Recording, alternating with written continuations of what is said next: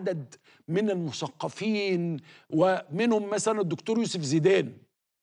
قالوا إن هم مستعدين هم اللي يعيدوا طلاء المدخل بتاع المقبرة دي. حتى يوسف زيدان نفسه قال أنا مستعد أروح أعمل الطلاء بإيدي.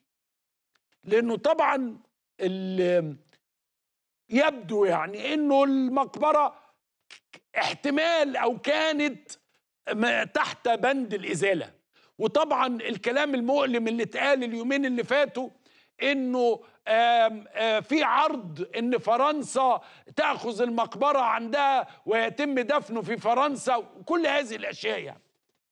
أنا بس عايز أقول حاجة بشكل عام يا جماعة أرجوكم ما تخلوش الحاجة تقعد وقت طويل على ما تردوا وتتحركوا يعني الموضوع ده بقاله أيام طويلة. طب ليه سايبين الناس تاخد وتدي ويبدأ ومعقولة؟ طه حسين يتعمل وتقعد الناس تتألم وتتأسى والشباب يقول أدي البلد واللي بتعمله في طه حسين. ولو عايزين نصيحة يعني شكل المكان. يعني دي ما ينفعش تبقى مقبرة طه حسين يعني. يعني عايز الحق يعني كمان.